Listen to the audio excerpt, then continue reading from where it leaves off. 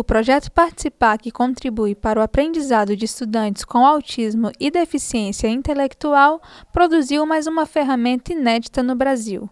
É o software Expressar. O software educacional Expressar contempla atividades pedagógicas para a apresentação de expressões faciais a autistas clássicos. O programa é voltado para professores que trabalham com alunos autistas clássicos. Com um tablet, é possível que o estudante faça associações entre uma expressão do rosto em uma fotografia e uma pessoa real. Na tela, o que faz você sorrir, o professor escolhe a imagem que ele acredita que faz o aluno sorrir. E ele vai associar o objeto, a imagem, à expressão facial do sorriso. Não há pré-requisitos nem uma idade definida para a utilização do software Expressar. Um aspecto importante é que foram feitos fotografias e vídeos contemplando diversidades de idades e também étnicas, pois isso contempla a própria diversidade da sociedade brasileira atual. O software ajuda no trabalho de desenvolvimento em sala de aula.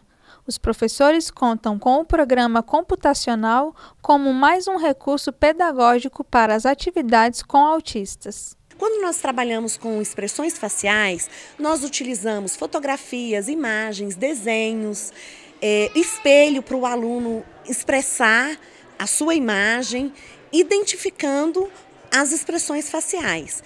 Esse software contribui e complementa esse trabalho o professor deve colocar no seu planejamento um momento para utilizar esse instrumento como mais um material, um recurso pedagógico para facilitar esse trabalho.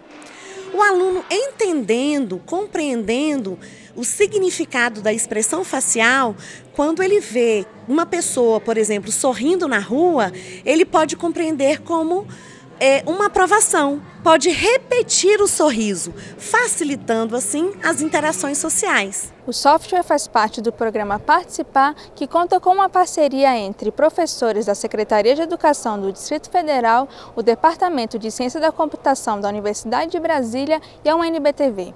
O programa de computador é patenteado pela universidade e é produzido por estudantes como projeto final de curso em computação. Os alunos que participaram do desenvolvimento do software Expressar ressaltaram a importância do projeto para eles. Apesar de já ter experiência na área de desenvolvimento de software, tive que estudar novos recursos e novas tecnologias para a implementação de Expressar, mas tudo isso valeu a pena, pois trabalhar na área de autismo é muito importante. A minha experiência no desenvolvimento do software foi muito gratificante, é, porque eu sempre quis fazer alguma coisa que depois ficasse para a sociedade, né, como projeto final do, da, do curso. O software Expressar pode ser baixado gratuitamente no site do projeto Participar.